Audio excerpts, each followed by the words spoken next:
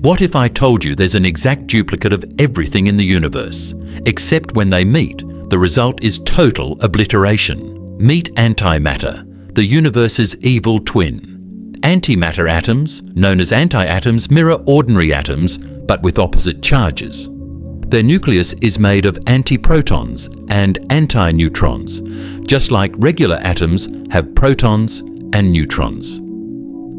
Surrounding this nucleus are clouds of positrons, the antimatter counterparts of electrons, but with positive charge. When antimatter meets matter, their particles collide and annihilate, converting their entire mass into enormous amounts of energy instantly. The Big Bang should have produced equal amounts of matter and antimatter, but it didn't. Today, the universe is almost entirely made of matter, with only trace amounts of antimatter left. Why does this imbalance exist? Drop your theory below.